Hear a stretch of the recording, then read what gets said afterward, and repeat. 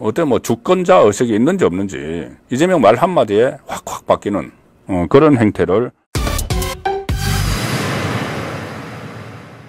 이재명이 요새 뭐 당 대표 선거 다시 나간다고 뭐 뛰두르고 막 전국 유세를 다니고 있죠.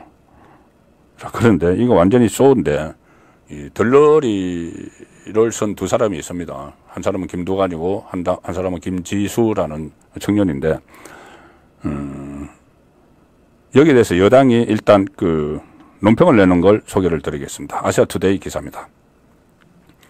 여당 이재명 충성 레이스로 변질된 민주당 전당대회 낯뜨거운 명비 어천가 뿐이다. 자, 낯뜨거운 명지, 어, 명비 어천가 뿐이다. 국민의힘은 어, 민주당 전당대회에서 최고위원 후보들이 이재명 후보를 향한 충성 레이스를 펼치며 낯뜨거운 명비 어천가를 부르고 있다. 고 비판. 어제 진행된 민주당 부울경 경선에서 이재명이 누적 득표율 90.89%, 뭐 공산당입니까? 독주 체제. 이에 하다하다 최고위원 후보들 역시 하나같이 이재명 호위모사, 이재명의 입, 이재명 수석 대변이 늘 자처하고 있다. 이들의 당선 전략은 이재명을 위한 방탄, 친위, 정권 탄핵 등 개딸들, 강성 지지자들의 입맛에 맞춘 이재명 마케팅을 외치는 것이 전부다. 지금 그 민주당에서 순회 경선 뭐 소위 한다면서 발표가 되고 있는 것들이 이 권리당원 투표입니다. 민주당은 지금 권리당원이 56%, 대의원 14%, 일반 여론조사 30%를 합쳐서 이 지도부를 뽑는데 대의원과 일반 여론조사는 8월 18일 날 전당대회에서 결과를 발표하죠. 지금 발표하는 거는 권리당원입니다. 가장 많이 반영이 되는.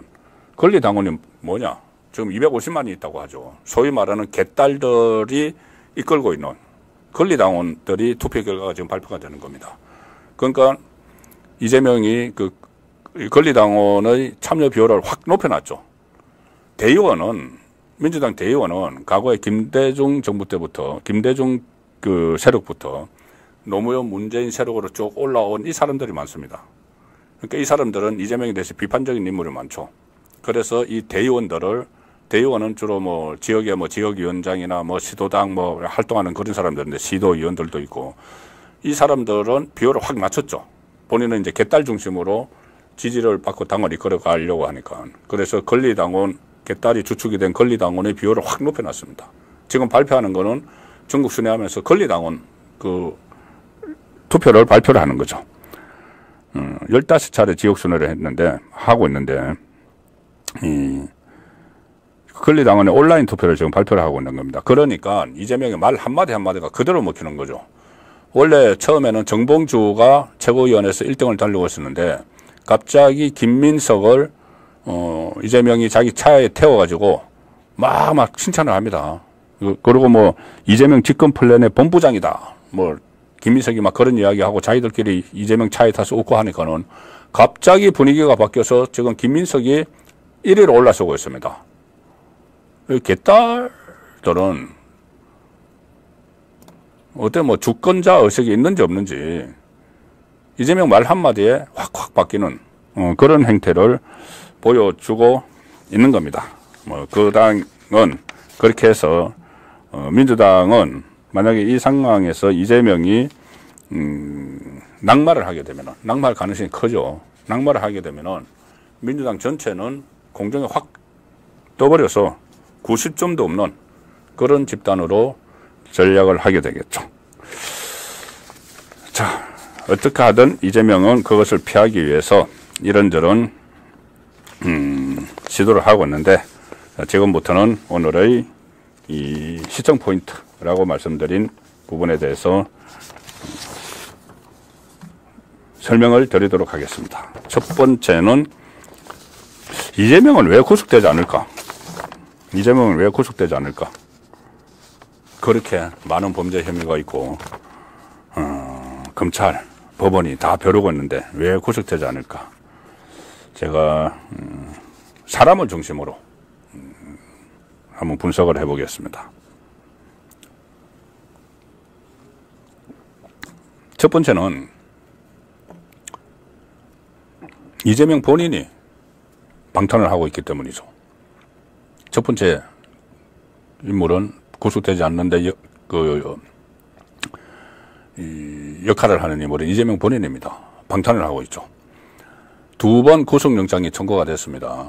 근데 한번 구속영장이 청구가 됐을 때는 그때 대장동 음, 유래신도시 성남FC 음, 후원금 의혹 이 세 가지 혐의로 서울중앙지검에서 서울중앙지법으로 구속영장을 청구를 했는데 그때는 국회에서 체포동의안을 이용해서 방탄을 해버렸죠. 이재명은 그 전에 불체포 특권을 포기하겠다고 공약까지 했습니다. 그런데 그걸 자기가 구속될 위기에 처하니까 헌신짝처럼 버리고 방탄을 해버렸습니다. 그로부터 6개월 후에 이게 2022년 그 3월인데 이, 어, 이, 그 다음에 6개월 후에 9월 달에 아, 2023년 3월인데 2023년 9월 달에 이 두 번째 구속영장이 청구가 됩니다. 6개월 후에 되는데 뭐냐면은 그때는 백현동 그리고 대북 송금 이걸로 구속영장이 청구가 됐죠.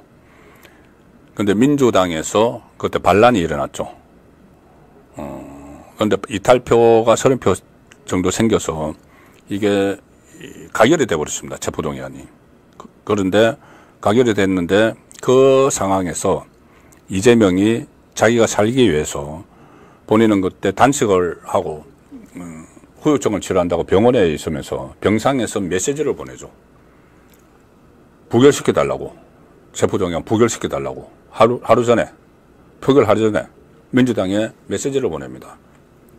염치 불구하고 자기 살겠다고 그전에는 특검 포기한다고 해놓고는 막상 두 번째 이게 가결될 것 같으니까 메시지를 보냅니다. 부결시켜 달라고. 그런데 30명 정도가 이탈해서 가결시켜 버렸죠. 자, 그래서 이런저런 이재명 자기 살기 위해서 단식도 하고 이 또 부결을 호소를 하기도 하고 불체포 특권 뒤에 숨고 해서 구속이 안 되는 자, 이재명이 구속이 안 되는 간 가장 큰 이유 중에 하나는 이재명의 여러 가지 방탄 전략, 방탄, 꼼수 이런 것 때문입니다. 자 그러면 이 두 번째 책임, 그 다음에 또 책임은 누구에게 있느냐? 그때 가결이 돼서 영장 법원으로 갔죠. 영장 법원을 갔는데 이 유창훈 영장 판사가 그것을 부결시켜 버렸죠.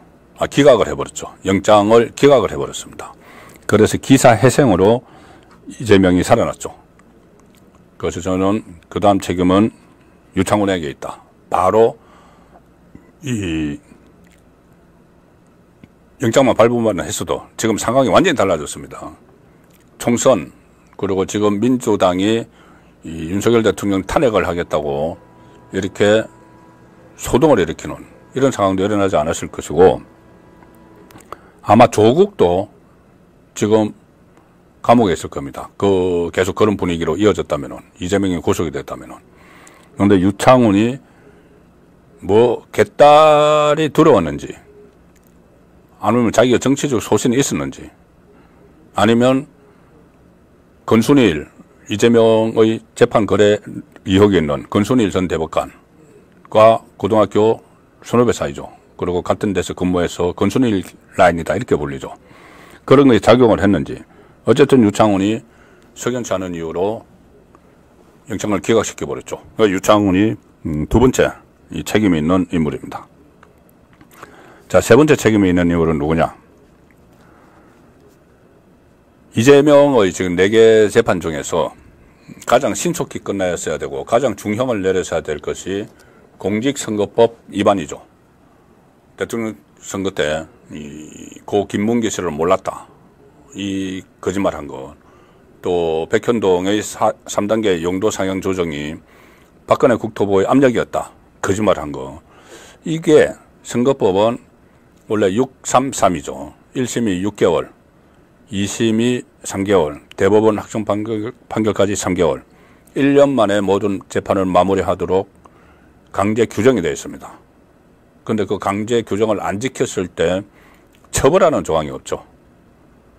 그래서 이게 공직선거법이 서울중앙지법 어, 형사 34부 강규태 부장판사에게 배당이 됐는데 강규태 부장판사도 개딸이 무서웠는지 자기 그 정치적인 노선이 있는 것인지 재판을 질질 끌었습니다. 6개월 안에 1심이 끝내야 될 거를 끌다가 끌다가 지금 이 이번에 그 1심 판결이 1심 판결이 그러니까 9월에 어, 그 구형이 나오고 10월에 1심 판결이 나오죠. 그러니까 1심 판결이 2년 만에 나오는 겁니다. 9월에 20, 2022년 9월에 기소가 됐으니까는 2년 만에 지금 1심 판결 나오는 겁니다. 그런데 6개월에 맞춰야 될 걸 앞에 점, 질질 건 사람이 바로 강규태 부장판사죠. 강규태가 끌다가 끌다가 도저히 안 되니까 중간에 사표를 내고 나가버렸죠. 사표를 내고 나가면서 이제 자유다. 이런 글을 동문회 커뮤니티에 올렸습니다. 자, 그래서 신속히 1심을 끝냈으면은 2심, 3심 해가지고 벌써 이것도 이재명에 대한 결론이 다 나와서 구속은 혹시 안 되더라도 벌금 100만 원 이상이 확정이 돼서 이재명은 지금 모든 게 날아갔겠죠.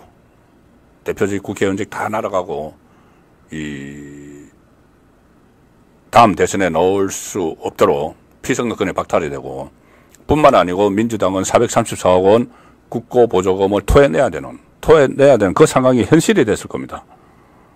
1심 판사 강규태가 제대로 재판을 했으면. 그래서 구속되지 않은 음, 강규태, 아, 강규태 덕분에 그래서 세 번째, 그러니까 첫 번째는 이재명 본인이 방탄했다. 두 번째는 유창훈이 기각을 했다. 세 번째는 강규태가 재판을 걸어줬다. 자, 네 번째, 이 다른 재판들, 다른 재판들은 형사, 강규태는 형사 34부고 형사 33부에서 대장동, 백현동, 위정교사 많은 것을 맡고 있습니다. 특히 위정교사는 금방 어, 이것도 재판에 끝낼 수 있었는데 질질 건 판사가 또 있죠. 김동현 부장판사, 김동현 형사 33부, 김동현 부장판사도 계속 재판을 지연시켜주고 어, 출석을 이재명이 재판에 출석을 안 하는데도 계속 음포만 놓습니다. 또 안 나오면 구인할 수 있어요. 그런데 계속 봐줍니다.